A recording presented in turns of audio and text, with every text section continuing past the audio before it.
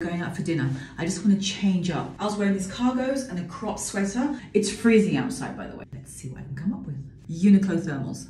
Great. Ooh. Rio dress. I love like the tiers, the colors on it. It's boho chic. Let's add some heels though. So I was gonna wear these. He said I can wear casual if I want.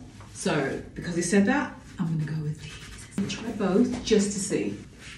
The safe ones. I'm gonna wear the Bottegas. Liner, just a touch. Finish powder. By Becca, look how gold this is. I brought the wrong brush with me. NARS, one of their new long wearing lipstick. Wow. I'm gonna wear my giant teddy coat from Max Mara. Which bag do I go with? Punch of the Loewe or the YSL?